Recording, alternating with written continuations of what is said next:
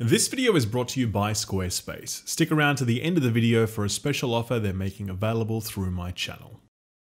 Generally speaking, I am very cautious about upcoming games that don't do any hands-on previews prior to launch. I mean, if you're an indie title, that's one thing because doing a playable build is a thing that costs resources. But if you've got a proper publisher like Focus Home Interactive, then hands-on previews aren't a big reach. Necromunda didn't have any hands-on previews, and its review embargo is one day before the game's release, and it's a Warhammer game, and let's be real, the Warhammer franchise is kind of famous for being a lot more miss than hit. So a lot of red flags were flying when I got my PC review code for Necromunda Hired Gun. I finished it, and I'm here to tell you that I had a good time with it, and I do recommend it to you. But before you click the like button and close the video, thank you for clicking like by the way, you should know that there are quite a few problems with this game, some of which uh, pretty meaty, and any one of those could be the tripwire for you and your enjoyment, nuking your appreciation of it in a way that just didn't happen for me. Necromunda feels like a trip back in time, and not always in a good way. Its visuals look decidedly last gen, its gameplay flow feels like an early pre-alpha build for Doom Eternal, and its enemy design feels really outdated at this point. I want to be clear from the outset that there are dozens and dozens and dozens of shooters that you could be playing right now that are better than Necromunda. Having said that, I found its old school charm to be quite novel. It felt like playing a more dressed up version of those retro shooters that have seen a resurgence in the last few years. Games that are confident in the knowledge that shooting shit is fun, and if you can just deliver a good shooting experience in some well-designed arenas, then you're pretty far towards making a game worth playing. At the core of Necromunda is a combat loop that you enjoy returning to. It borrows the verticality and the swift repositioning of Dishonored, the wall-running shenanigans of Titanfall, and the grapple-hooked fueled mayhem of Doom Eternal to arrive at something a lot less polished than its inspirations, but also something unique, especially when you take the inventive level design into consideration. While the sound mix, the story, and the upgrade system all leave a lot to be desired, none of these things are likely to be deal breakers since they're all kind of brief distractions that can be waved away in seconds should you choose. You're going to want to get back into the action ASAP because the action is good, and with a game like Necromunda, that's really all that matters.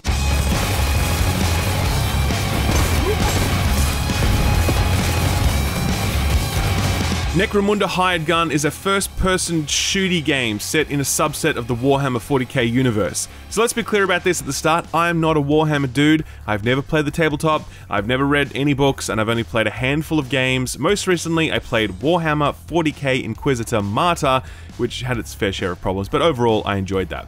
One of the things I loved most about that was how much it immersed me in the 40k world. It was so committed to the source material and so dripping with lore at every moment that I walked out of it thinking, shit, yeah, that was cool, I want more of that. Even I, someone totally disconnected from the 40k world, could appreciate Inquisitor Martyr as a Warhammer game because the game worked so hard to make me love that universe. Sadly, Necromunda doesn't achieve anything close to that. You play as a bounty hunter who suddenly finds themselves in the middle of a gangland squabble where like eight or something gangs are fighting over different stretches of territory and you essentially get led by the nose from squabble to squabble as you try to find a way out of this mess. Now from what I understand, this setup is an authentic Necromunda experience since the Necromunda tabletop was an offshoot of Warhammer 40k and it focused on small scale skirmish style style gangland warfare on this hellish industrial planet called Necromunda. But even though the story is authentic, it's not good. Every new mission introduces the name of some new gang or gang member that's pissed off at you about something or other, and the pace at which all these names are thrown around and introduced and discarded becomes a little dizzying. I tried to keep up with the story as I was going through it, I really did, but eventually it all kind of just blurred into this haze as more and more stuff just keeps getting thrown at you without it ever actually meaning anything. The factions you fight all look and feel pretty much the same, the characters you meet all suffer from a distinct lack of personality, and the conclusion to the story was very anticlimactic, despite trying to offer up a sort of twist at the end. As I am not a Warhammer or Necromunda fan, it's possible that all of this is just going over my head, and this is actually fantastic fan service, full of cool characters brought to life, and the missions I'm engaged with are pulled straight from the lore or something. I don't know. I hope that's the case. I hope Necromunda fans love this. I will say though that I think good storytelling is pretty universal, and Necromunda definitely didn't deliver in this regard. Storytelling is a little hamstrung from the outset owing to some really bad voice acting and some terrible sound mixing during cutscenes. Necromunda is a world of mechanical monstrosities and ruthless gangs who are led by legendary figures who dare to stand against the might of the great houses and the Imperium, It kind of sucks then that most of the characters sound like they were voiced by old codgers pulled straight from the pews of British pubs during the lunch hours, mind you, not the roaring evening trade. The performances just don't have any presence or bite to them. It's jarring to hear characters who are so milquetoast when their character designs are so elaborate and the world they're standing in is so imposing. What happened? There's time for all that later. You're going to hurt yourself straining like that. Remember, you only just made it this far. The sound mix makes this even worse. Overall game sound is pretty good, but for whatever reason the cutscene dialogue is just not properly balanced. I mean, here's an example.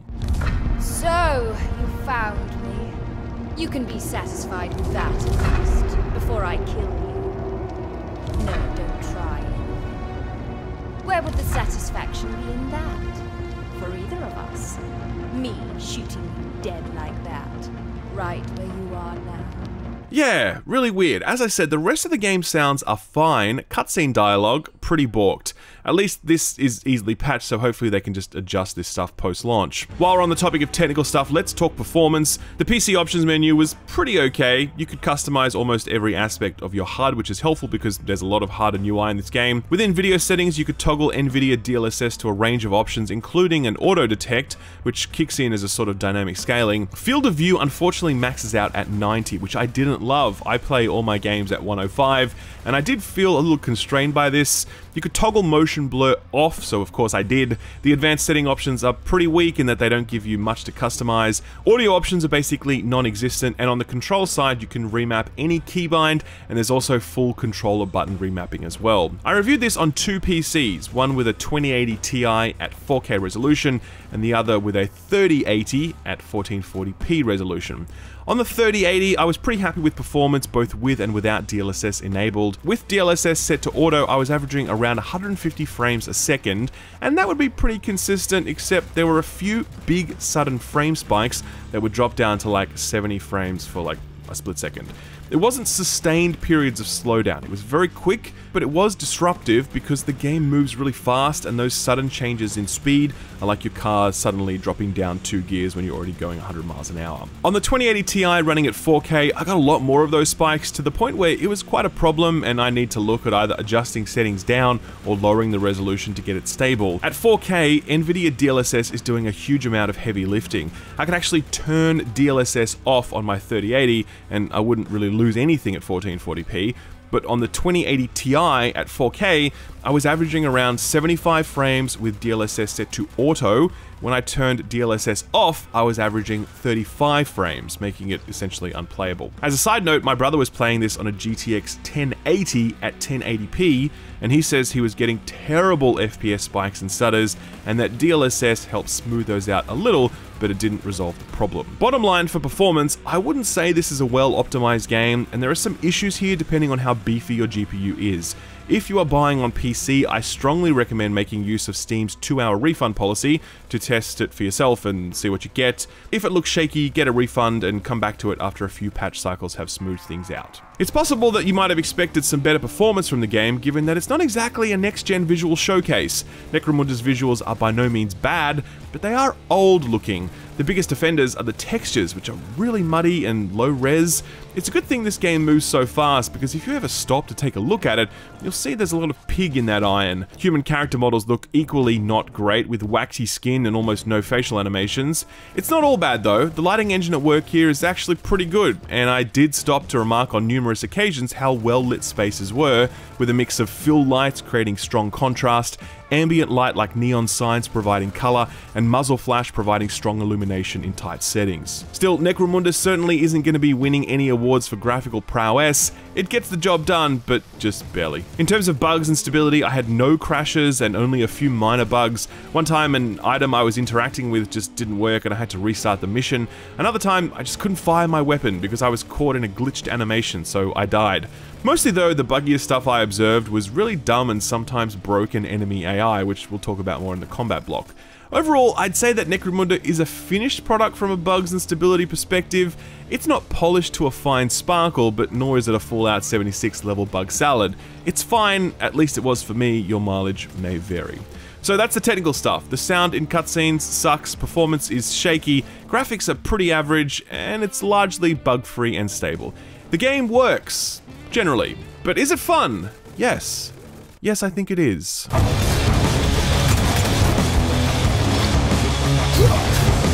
In addition to having no previews, Necromunda's developer and publisher are also very tight-lipped about what the game actually was. Like we saw the gameplay trailers and we kind of guessed it was Doom Eternal, but in the Warhammer universe, and that was really it. We had no idea beyond that, so let me explain what Necromunda actually is. Necromunda is a mission-based first-person shooter with light RPG elements. You'll begin the game by selecting your character's appearance from a number of preset options, and after a brief tutorial section, you'll arrive at the mission hub, a hollowed-out sewer called Martyr's End. There you'll find a rogue doc to upgrade your bionics, a weapons dealer to sell you upgrades, an artificer to mod your gear, and a number of characters who you'll chat with at various times to progress the story outside of missions.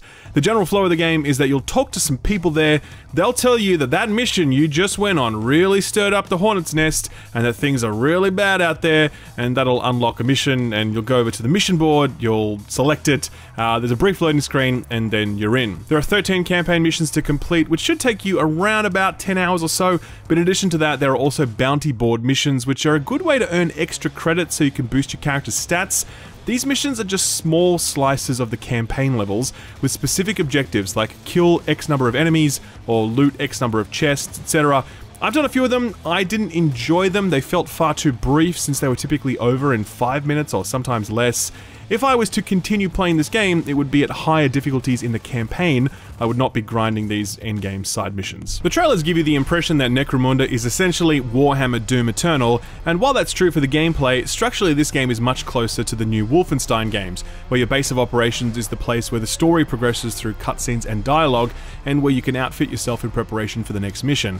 I know Doom Eternal had the Fortress of Doom, but that was more of a gameplay space than anything else. Necromunda's Martyr's End is the place where a lot of world building happens, and it's also the place where you can give your good boy the pats he deserves. nó, nó, nó, nó, nó. So earlier I spoke about how Necromunda is not a particularly pretty game, and that's true, but I really loved the world design on display here, and it was easily one of my favourite parts of the whole experience. When I first arrived at Martyr's End, I spent a long time just looking at it, soaking up its incredible density and detail. The team that made this game are apparently just really big Warhammer nerds, and you can tell because they poured a lot of love into the design of each of these spaces. Necromunda is a planet entirely covered in industry, where the very mountains have been turned to rubble to extract the resources within them. Across the planet, megacities known as hives reach higher than those mountains ever did, and the squalid underhive in which the game is set collects all the runoff and refuse from above. This is the world you traipse through underground quarries, roaring foundries, acid lakes, shipyards, and the train network that connects it all. While Necromunda's storytelling is weak, each of its 13 levels communicates so much about the world you're exploring. I didn't feel immersed in Necromunda's lore, but I absolutely felt immersed in its world as the ambitious level design continued to tell stories that the narrative never could. The real drawcard though is the combat, which is as messy and janky as it is fun and satisfying. It's got some obvious flair that's going to make it fun right out of the gate, like the ability to slide and immediately dodge left and right to avoid incoming fire, more meaningful is the ability to wall run on most surfaces. I say most because sometimes you'll try and execute a wall run and it just won't work. That wall, for some reason, is not runnable and that can be frustrating. When it does work though, it feels awesome as its generous magnetism allows you to cross huge spans with ease. Interestingly, they've added an auto-aim feature that kicks in when you're wall running.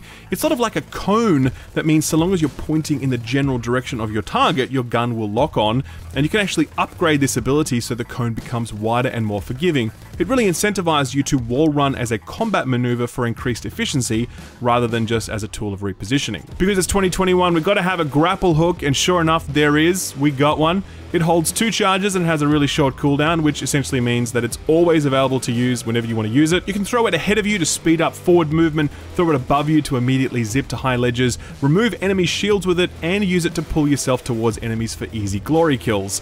It's the absolute bread and butter of Necromunda's combat, as more than 50% of combat here is about finding the right position for an engagement, rather than just blindly pulling the trigger. And this was really fascinating for me because as I was playing this game, I wrote in my notes that the verticality and repositioning positioning going on here, I hadn't really experienced it in a game like this before. It felt like Ubisoft's Hyperscape, where you're just constantly shifting up and down levels. It felt like Dishonored, where so much of both combat and stealth was about thinking in three dimensions. Obviously, Doom Eternal and Titanfall do this stuff too, but they do it on a much flatter axis than Necromunda does. As I was researching Necromunda, I came across this entry on Wikipedia, quote, Necromunda also stands out from most other games by Games Workshop by having a more three-dimensional table layout, with buildings generally having multiple floors, interconnecting walkways and bridges, end quote.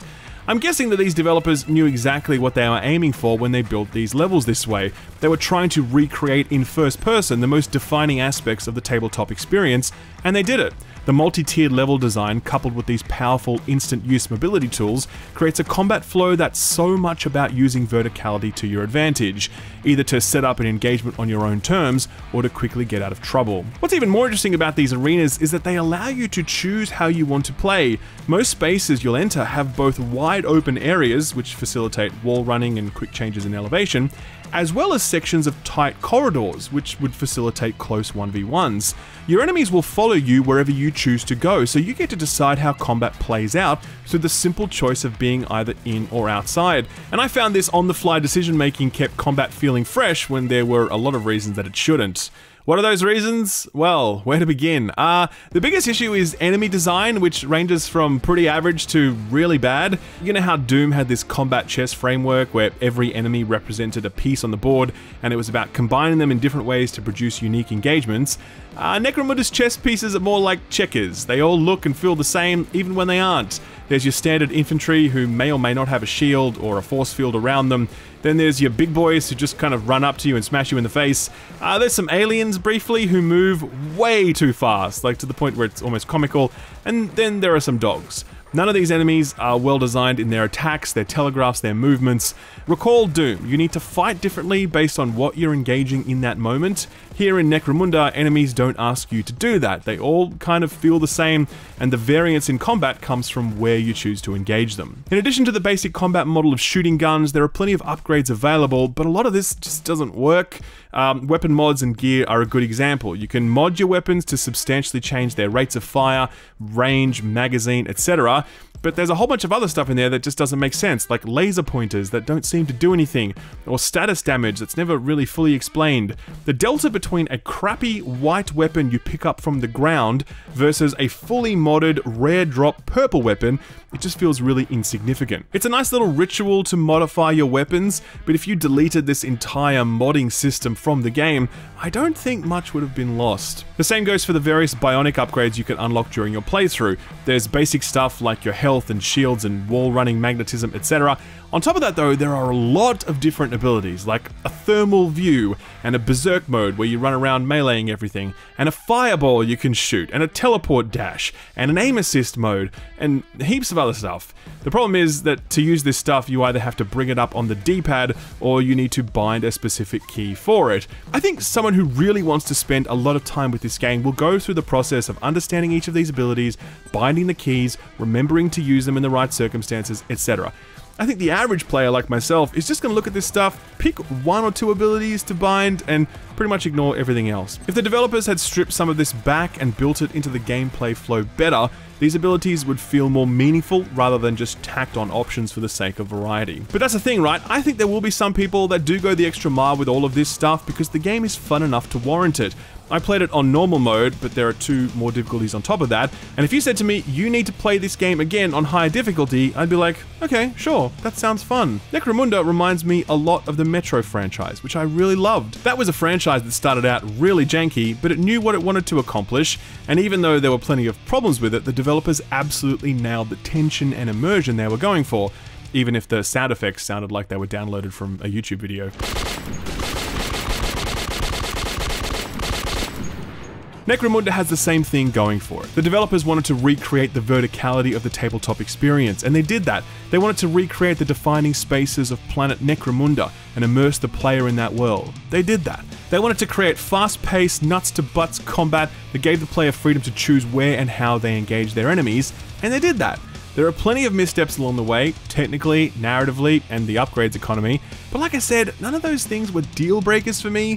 I enjoyed Necromunda despite its many shortcomings, and I recommend it to you, and I really hope it gets a sequel because I would definitely be down to play more of this. Blog or a hobby or a business idea that you want to take to the next level, then Squarespace is your best bet. Squarespace offers the world's best set of custom website design tools, allowing absolute beginners to immediately begin creating professional looking websites. They don't just look good either, they have almost everything your website will need for both you and the people viewing it. Stuff like appointment scheduling for clients, or traffic overview so you can see how many people are visiting your site. You can schedule posts so that you can put future content in the pipeline, and you can even build a comment section so you can begin building an online community. Head to squarespace.com for a free trial, and when you're ready to launch your idea, go to squarespace.com forward slash skillup to get 10% off your first purchase of a website or domain. Thanks to Squarespace for sponsoring the video, and thank you for watching it. Thanks for watching my video. If you liked it, give it a thumbs up. If you didn't, give it a thumbs down so I know to do better for next time. If you enjoyed yourself, consider subscribing. And if you really enjoyed yourself, maybe consider hitting that notification bell so you never miss a video. You can see my patrons here on the left. They're awesome. They're amazing. If you want to join them, check out my Patreon page. Thank you again. I'll see you next time. Bye-bye.